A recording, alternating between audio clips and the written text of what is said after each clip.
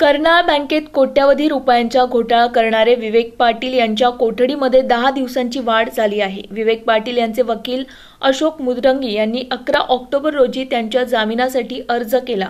त्यावर चौदा ऑक्टोबरपासून सुनावणी सुरू होती. दोन्ही बाजूंचा युक्तिवाद हा मंगळवारी संपला असून पुढील सुनावणी ही पंचवीस नोव्हेंबरला होणार आहे. त्यामुळे पुढील सुनावणीवर त्यांचे पुढील भवितव्य अवलंबून आहे. कर्नाळ बँकेत झालेल्या पाचशे एकोणतीस कोटींच्या घोटाळ्यामागील विवेक पाटील हे मुख्य सूत्रधार आहेत. ईडीनं त्यांना पंधरा जूनला राहत्या घरातून अटक केली होती. काही दिवस ते ईडीच्या कोठडीत होते. त्यानंतर त्यांची रवानगी ही मुंबईतील आर्थर रोड तुरुंगात करण्यात आली. दरम्यान ईडीकडून त्यांच्या मालमत्तांवर जप्तीची कारवाई करण्यात आली.